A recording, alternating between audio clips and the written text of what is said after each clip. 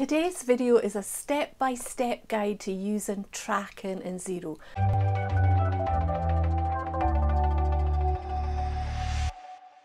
Tracking will sometimes work for you instead of projects and that's always good news because tracking is free whereas Xero projects you have to pay for. Today we're going to look at our property investor and he has properties that are let out on an ongoing basis. So tracking will work for us. They're not projects with a start and an end date, they're continuous. So we're going to track property by property. So I'm going to show you how to set up tracking, how to input the transactions and then how to run reports. Let's go into Xero and I will show you how. Okay, let's go ahead and set up our tracking categories. So we go to settings, general settings, and then we choose tracking. Then we say add tracking category, and then we give it a name. So we're going to call it property. And then we're going to add our properties. And once we're happy, we just select save. Okay, fix the spelling mistake. Once we're happy, click Save. Okay, our tracking categories are set up. Now let's look at creating a sales invoice. So new sales invoice, choose the date we want, enter a value, enter a sales code, which is property income, and then we will see that there's a new field. Now it's difficult to read it here because there's not a lot of space, but trust me, this says property.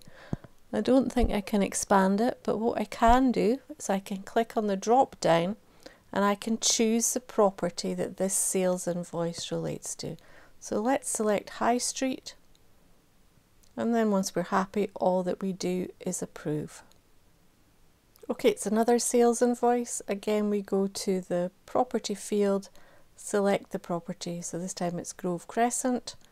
Happy with it, approve. And our third sales invoice for the month of March, select Ashgrove Lane. And that's it. Okay, now let's look at tracking when we've got a purchase invoice. So let's add a bill. And there's some maintenance costs that we need to include. So here we have our bill and it's grass cutting for the three properties. So go to the property and we select High Street, Grove Crescent,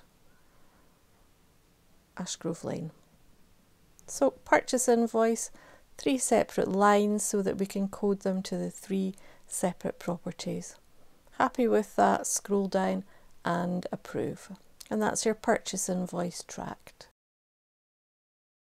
Okay, if we have a transaction in Xero where tracking by property is not relevant, when we come to the property field, all that we do is ignore it and then just approve our purchase invoice. So there's no tracking being done on that purchase invoice for stationery. Okay, we've recorded sales, we've recorded purchases. Now let's look at the reporting when we use tracking. So reports, and we're just going to select the old style profit and loss. That's the preferable one for this. Let's choose the date range. So we only want the current month. Get my brain in gear and we'll find it. Okay, 1st of March to 31st of March. And then we're going to select more options. Now we see Ignore job, we come to filter by property and we can select not to filter, which is the default, which will show everything, or you can show individual properties, but what we want to choose is the option for all properties. Because we've made some changes, we want to update. Now we've got a profit and loss account for the current month and we can see we've got properties listed.